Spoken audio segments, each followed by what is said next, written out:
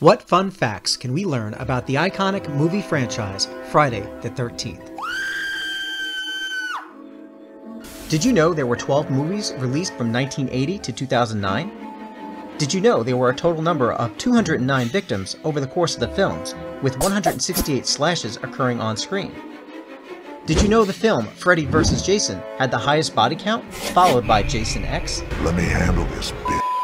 Did you know that Jason Voorhees was responsible for 161 victims, followed by Roy Burns, with only 17 victims, who posed as Jason in the film A New Beginning? Did you know that the machete was the preferred weapon, used not only by Jason to slash its victims, but was also used by Tommy Jarvis to kill Jason in the final chapter? And, finally, did you know that the true Jason Voorhees didn't slash anyone in the first Friday the 13th and the New Beginning films? With just a few clicks, it's fast and easy to analyze data and see relationships using Qlik Sense.